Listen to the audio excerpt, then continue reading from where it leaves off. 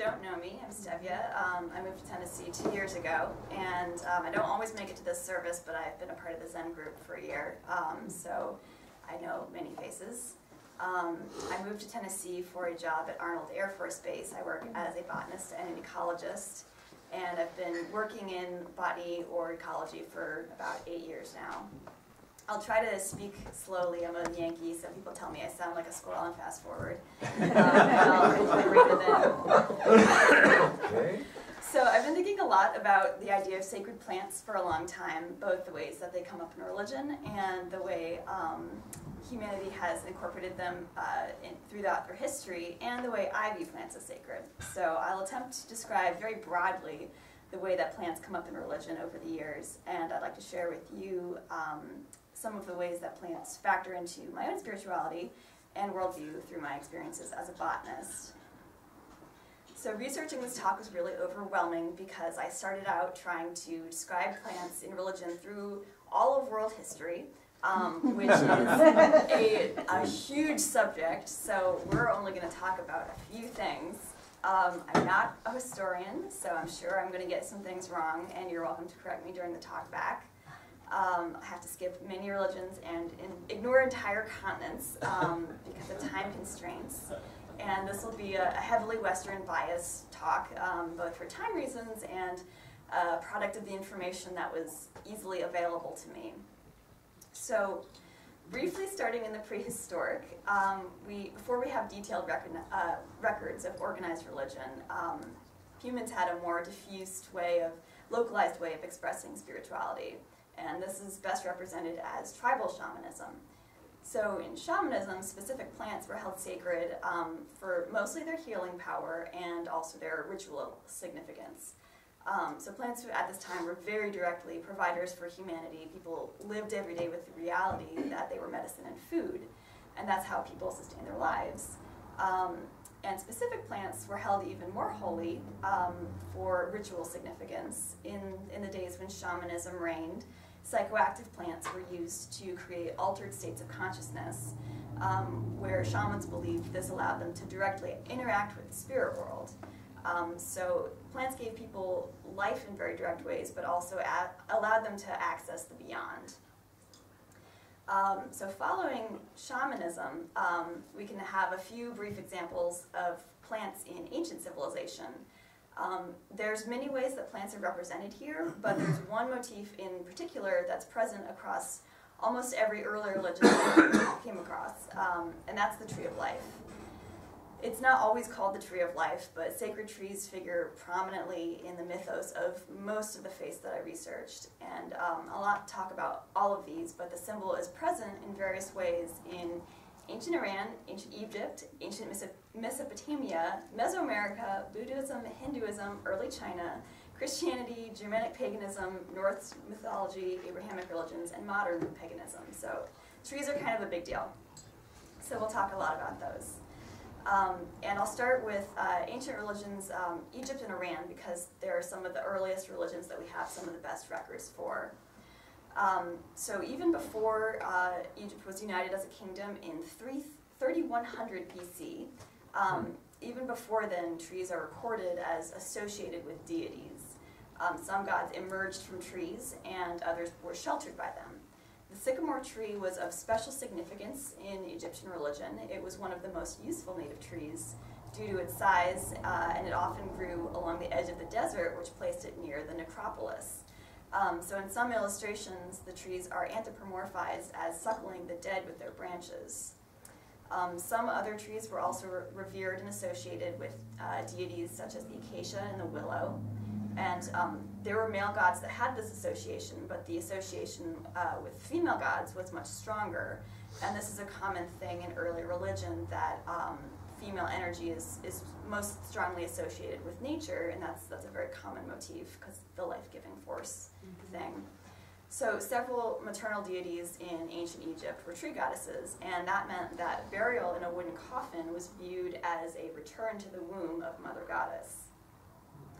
In Iran, um, that's another one of the earliest documented religions, um, is that's Zoroastrianism, and um, that began in 2000 BC, And amazingly, it still survives today as the world's oldest still active religion. Um, so they had a tree called Hawama, I'm probably pronouncing that wrong, and that was one of their most sacred plants due to a drink that was made from it. And this um, drink had great healing properties. It was used heavily in medicine. So that was one of the reasons it was sacred. So the plant and the drink is one of the central features of Zoroastrian ritual. Uh, Hawama is also personified as divinity, um, so it can bestow essential qualities such as health, fertility, husbands for maidens, and even immortality. There's one specific Hawama in their legends called Kirena, and it was planted by Ahura Mazda, who is the sole god of Zoroastrianism. Um, the existence of this tree is said to ensure the continuance of life in the universe. And this religion also has a devil figure, um, Ahriman, who is the destructive spirit and adversary to God. So this devil created a frog to invade the tree and destroy it, um, aiming to prevent all trees from growing on Earth, and thus, by extension, destroying life itself. So as a reaction, Ahura Mazda, their god, uh, created two Kar fish to guard the tree, and these two Kar fish are always staring at the frog and ready to react to it, uh, thus saving creation. so skipping hundreds of years ahead in time, we have Buddhism. And in this religion, or philosophy, if you will, um, there are several instances in which um, plants play an important spiritual role. And one of the most important symbols is the Bodhi tree. Uh, the phrase Bodhi tree can mean two things. First, it can refer to this one specific tree under which Siddhartha Gautama, or the Buddha, obtained enlightenment. In a broader sense, uh, Bodhi tree can also denote any tree which a person has attained enlightenment, thus achieving Buddhahood. Um, so to keep you appraised of where we are in the timeline, we are uh, now in the 6th century to the 4th century BC. That's when Buddha lived. Um, but the tree, of course, was probably before, born before the Buddha. So the Bodhi tree was a type of fig um, that botanists now call Ficus religiosa, uh, its common name being sacred fig. And I love the name of this tree because it's uh, been sacred long before botanical Latin existed. So the scientific moniker that denotes the species and genus actually reflects the plant's cultural and spiritual significance. Um, both the image of the tree and its heart-shaped leaves are very common within Buddhist iconography and it can be a symbol of both the Buddha and of enlightenment itself. So there's three living trees that are particularly import, important in Buddhist piety. Um, the first tree is where the Buddha obtained enlightenment in Bihar, India. The original tree does not live. Um, it has been planted with its offspring three times throughout the course of history. Um, there are two other Bodhi trees that have great religious significance, um, one in India and the other in Sri Lanka and both are believed to be propagated from cutting from the original Bodhi tree. Um, the tree in Sri Lanka still lives today. Uh, it's 2,300 years old. Um, it's one of the oldest uh, trees that has a known planting date by humans. Um, and it's still a very respected relic uh, to Buddhists in Sri Lanka and all over the world. Uh, and many temples in, throughout the Buddhist world have um, Bodhi trees growing in them, and many of them are are believed to be offspring from Lanka. Um, the worship of these trees is an important form of Buddhist piety in these countries. So history aside, there's a lot of mysticism and folklore that surround these trees, um, most of which did not really make it overseas to Western Buddhism, um, but I'll give them a brief mention. Um, it's sometimes believed that neither the fruits nor the leaves of the famous Sri Lankan tree ever fall on the ground. Um, some Buddhists believe that this tree can emanate light, can cause rain, can grant fertility to women. So in terms of folklore, we're still seeing uh, the basic needs of early culture uh, being sought um, from, a, as a, from, a, from plants in a spiritual manner. And lastly, I'll mention the lotus under the Buddhist category. Um, it's another very popular symbol, and it represents purity of the body, speech, and mind. Um, it's something that's rooted in muddy waters, which is a metaphor for life um, and attachment, but it's a thing of beauty that blooms above the mud, and the water that slides easily off its petals is a symbol of detachment. so I wanted to mention Hinduism really briefly, but I need I cut it off for time. Um, there's many sacred plants in uh, Hinduism, such as holy basil, sacred fig, uh, and sandalwood, and most of these plants have uh, either practical real-world value but they're also very strongly associated mythologically with different gods. so jumping ahead a little bit to um, pre-Christian Europe, we have one of the most explicit examples of a tree of life, um, or world tree, called Yggdrasil. Um, and I learned about this in world history, I'm not sure if you all did, but um, Yggdrasil is central to North, Norse mythology. It's this immense world uh, mythological tree that connects the nine worlds of Norse cosmology, and the gods hold their daily council at the base of the tree. There's numerous animals that are said to live among Yggdrasil's branches and roots. Um, at the base is a dragon and several snakes that gnaw on the roots. And an eagle perches on its upper branches. Um, and there's a squirrel that scurries up and down, conveying the dragon's insults um, to the eagle, and vice versa. And meanwhile, there's four stags that graze on the leaves. And though these animals and their activities seem kind of innocent, they hold a deeper significance. Um, the image of the tree being nibbled away represents its mortality, and along with it, the mortality of the cosmos that depends on it. Um, so remember the ancient Iranian myth of the tree whose uh, existence was tied to the well-being of the entire universe? Well, we see that the exact same thing here thousands of years later um, in a different continent. Um, so Yggdrasil was the center of the geographical uh, was the geographical center of the cosmos, and um, all of existence depended on it. And so when the tree trembles, it signals the arrival of Ragnarok, which is the destruction of the universe. So there are a lot of early religions that have these mythological trees where um, creation depends on their very existence. And when we get into the Abrahamic religions, Judaism, Islam, and Christianity, um, plants are still featured as important symbols, but creation doesn't seem to hinge on them as much anymore. And it's in fact with the Abrahamic faiths that we start to see a more mixed relationship between humanity and plants. And the relationship stays kind of positive in Judaism. Maybe it's because it's the oldest of the religions. It's um, over 3,000 years old. And as Judaism sees it, um, so I've read, uh, a tree stood at the very center of the first human moral dilemma when Adam and Eve ate from the tree of knowledge. Um, some traditions hold that this was a fig, not an apple tree, so we're, we're seeing a lot of figs up here. And even though this tree allowed Adam and Eve to doom themselves and their descendants to a life uh, in exile from paradise, the tree offered them their first step towards spiritual redemption by offering uh, its fig leaves to cover their nakedness. Um, planting trees is a very beloved act in the rabbinic imagination. It embodies the Jewish responsibility for um, each generation to cultivate resources for the next. Uh, there's a quote in a midrash, which is an interpretation of sacred texts, um, that says, quote, if you have a sapling in your hand and you are told, look, the Messiah is here, you should first plant the sapling and then go out and welcome the Messiah, end quote. In the Jewish tradition, nothing is more important than the Torah. So it says a lot that rabbis chose a tree as the primary symbol for the presence of the Torah in the world. Um, so if humanity's failure of, of this moral litmus test at the tree of knowledge sets humankind on this journey into the world beyond paradise, the tree of life, represented as the Torah, emerges as a source of protection, sustenance, and proper living that allows humanity to continually reconnect with its highest self. So on to Islam. Um, Judaism predates Islam, and it's my understanding that Muslims incorporate uh, Jewish history as part of their own.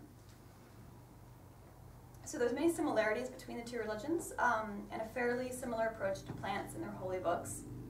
The Quran has almost the same Adam and Eve story um, that you know from the Bible, except for the tree of knowledge might better translate to the tree of immortality, and Eve's name is Hawa. So there's just one tree referenced in Eden, um, but there's many plants in the Muslim depiction of paradise or heaven. Uh, these plants are used as signs of the Creator's power and majesty. Um, paradise is considered this beautiful place where you're endlessly and effortlessly provided for, and plants uh, are an integral part of that. The Quran is more than 1,400 years old, but it comes out of a very scientifically advanced civilization. So the cool part about the Quran is that there's 22 plants that are so specifically described um, that they're identifiable by modern science um, down to their genus and species. And one of them is, of course, a fig tree. Um, there's still a lot of figs out there. Um, finally, we've got Christianity. And Christianity is a religion that seems to have one of the most fraught relationships with plants. Um, and in early days in Europe, uh, uh, Christianity kind of hid itself around paganism, changing their holidays to match the solstices. But later, Christianity became the norm and gained a lot of power. And previously, we've seen history, um, through, through history, uh, plants are revered in a way that reflects that nature is a direct provider for humanity. And somewhere along the line, agriculture and an increasingly modern civilization allowed people to feel more divorced from nature. And the timeline is really fuzzy and varies by geography, um, but at some point, especially in Western civilizations, nature went from being a divine provider to something that needs to be tamed and controlled in order to provide. So we can track this attitude historically by looking at early depictions of Mary um, in poems and artwork. And in paintings and drawings and woodcuts by Northern European artists, Mary is usually dressed in very regal, expensive uh, clothes. She's almost always painted indoors um, and with very fancy architecture. And when she is depicted outdoors, it's mostly um, in manicured gardens and surrounded by a hedge or a wall or a screen of roses. Mm-hmm. And this is a very domesticated version of nature, and um, at that, a very domesticated and controlled version of femininity. Mm-hmm. Um, the plants that are associated with the Virgin Mary are lilies, lily of the valley, strawberries, irises, and primroses. Um, all of these plants, especially the lily and the rose, um, refer to the chastity and, holy, and um, faith of the Holy Virgin. And they're symbolic pl plants of Mary not because of their medicinal or ritualistic powers like in early religions, um, but just because of their beauty and association with innocence. So while nature used to be more strongly associated with feminine and life-giving forces, we've moved on to a male god here, and only one male god at that, where all other worship is considered false idol.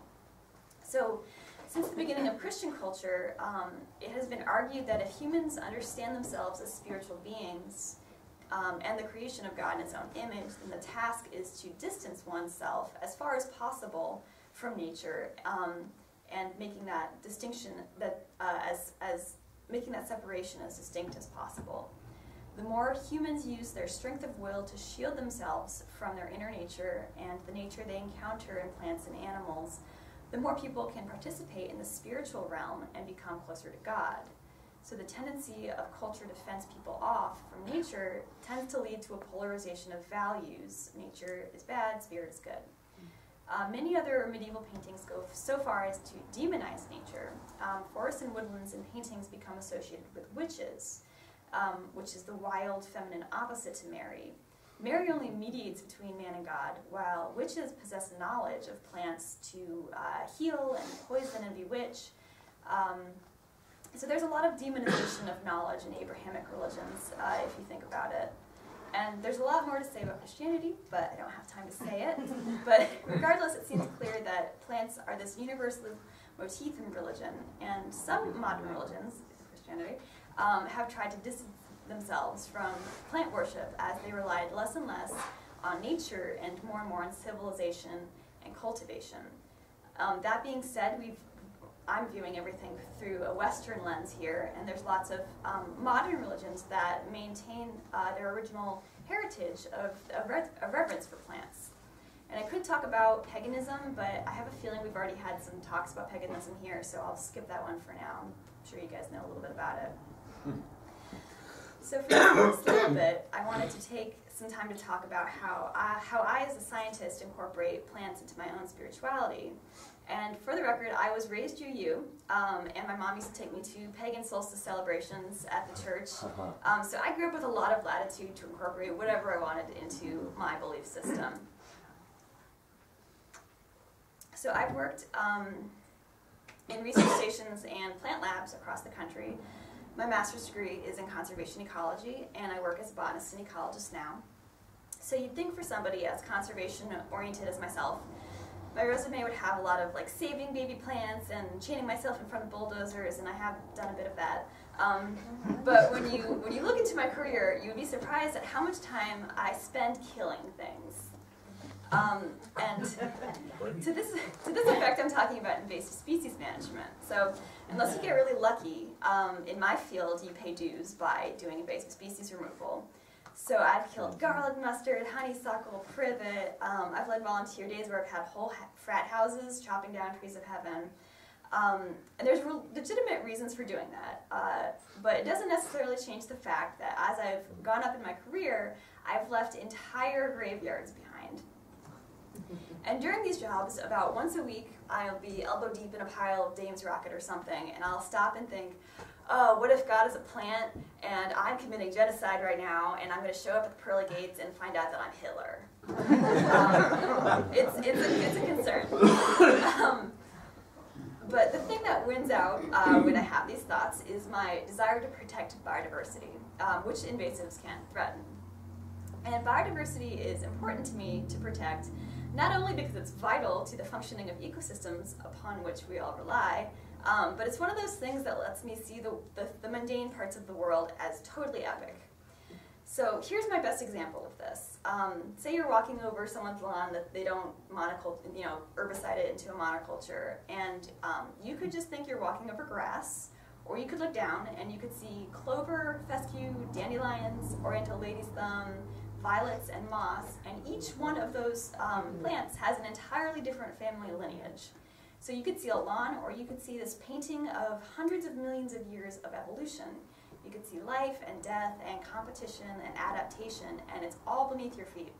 And it's a snapshot into a history that's unfathomably long. Um, and it's a part of history that uh, we as humans have been inextricably linked since the beginning of our species and before that. These plants that are things that sustain our lives and from early culture up until today, that's true. And we write legends and songs about them. Our gods have lived inside of them. And you can choose every day to see and understand that and feel connected to it, even if you're just standing in your own front yard. Trees are another very awe-inspiring plant to me. Um, uh, ancient religion tends to agree with me. Um, and to me, it's because you can view each one as a st statistical miracle. So viewed in a certain way, all of life is a, is a statistical miracle. But I think trees really take it to the next level here. So as animals, we have mobility that helps us protect our offspring. Um, for a tree, if a deer comes along to eat a seedling, or if a you know squirrel comes by and eats an acorn, the, the parent tree has a really hard time coming to the rescue. Um, and if a seed lands in an unfavorable growing condition, it simply has to return to the soil. Um, there are certain ways that trees do feed and rear their young that I don't have time to go into. It's very interesting, and you can ask me later. Um, but despite the efforts of the tree, it's extremely rare for their offspring to survive. Um, in fact, it's so rare that on average, one tree produces um, just one offspring to make it to adulthood to replace it. And on the lower end, beeches produce about 1.8 million seeds in their lifetime. And on the higher end, poplars produce uh, 54 million seeds per year for a total of over a billion seeds in their lifetime. So the fact that animals are here doesn't impress me. So your ancestors could fight off predators and go for miles in search of food and water for their children. But you walk through a forest and you know that every single adult tree is a lottery winner. Um, the odds of each one existing is millions and billions to one, and it can make a, a, a walk through the woods um, seem kind of mind-blowing and precious. So learning about ecology can be a bit of a double-edged sword. Um, it can make everything look like a freaking miracle, um, and it also can be a little depressing. Um, and I can't say it better than Aldo Leopold once wrote, um, quote, one of the penalties of an ecological education is that one lives alone in a world of wounds. Much of the damage inflicted on the land is quite invisible to laymen, as an ecologist must either harden his shell and make believe that the consequences of science are none of his business, or he must be the doctor who sees the marks of death in a community that believes itself well and does not want to be told otherwise, end quote. So that's some pretty heavy stuff. But I know what he means. Um, I see invasives wherever I go. I can't walk along a riverbank without stopping uh, every 10 feet to pull up garlic mustard. I can tell when a forest has been heavily overbrowsed, and I know that this means that urban forests, where there's no deer hunting, um, they're slowly dying from the ground up. But I believe that there's more options given to us uh, than Aldo Leopold. There's more than ringing an un unheard alarm bell, and there's more than hardening your shell so that you don't care. To me, the third option is doing what you can while maintaining a daily insistence on beauty and wonder. I used to be a caretaker at an arboretum in Michigan, and there was this flower called Dame's Rocket that was invasive. And um, when the weekends came around, I led volunteer work days where we just pulled truckloads of it in an attempt to eradicate it from the arb. But when I wasn't working, I let myself enjoy it. Um, it's this bright flower, it's like very vibrant purple, and it can be um, a lot of different shades from, from deep purple to bright fuchsia to lavender, and they carpet the hillsides, and I do what I can to heal the land as an ecologist, but I love how Dame's Rocket looks, and I refuse to let knowledge take that beauty away from me. So I can still be a little cynical about the world, but I've found many reasons to hope. And you'd think for someone like me, the fact that invasives are hard to kill is a reason for despair. But it's also um, one of the best things I've come to understand is how hard it is to eradicate plants from anywhere. I worked one summer in Georgia uh, taking care of a small three acre garden and we would immaculately weed each bed. And by the time we finished the last one, uh, weeds would be all over the first again. And we'd put this thick black plastic cloth over parts of the ground to discourage weeds and they would just erupt through with no light. Um, and there was a perimeter around the garden which we would nuke with Roundup. I'm probably going to get cancer later. Um, and all that eventually happened was that we bred herbicide-resistant weeds. So here's what I've decided. We will lose some rare plants uh, now and in the future, and biodiversity will be affected by climate change, and our ecosystems will change in unpredictable ways. But plant life is also beautifully adaptable and miraculous in its persistence, and nothing we do can completely destroy it. This is what gives me comfort. Plants evolved uh, 2,500 to 800 million years ago. I know wherever you go outside, you're walking past ancient lineages that made animal life on the earth possible. I know that trees have their own child-rearing strategies, but despite that, forests are made out of individual statistical anomalies. I know that it didn't take very long for plants to thrive uh, in Chernobyl after the um, nuclear reactor exploded. I know plants can, can split electrons out of water, and the trees make their trunks out of air, if you think about it. Um, I know that the world is going to change and it's not always going to take on a form that I like or recognize. But I think the essential nature of what I love is um, going to persist long after I'm gone and long after our civilization ends, whenever that may be. I know we'll sacrifice a lot of beauty and diversity along the way, but many species will persist. And some of that weedy, adaptable vegetation may end up saving our species one day, because humanity's existence is forever tied to plants. I know that we've been pulling Dame's Rocket in the Arboretum in Michigan years before I came along, and we'll do so for decades to come. But I know if you boil it all down, some things are simply impossible to destroy. And believe me when I say that, because I have killed enough plants to know. So thank you for listening. I hope I didn't go over time or anything, and I look forward to your questions at the talk back. So thank you.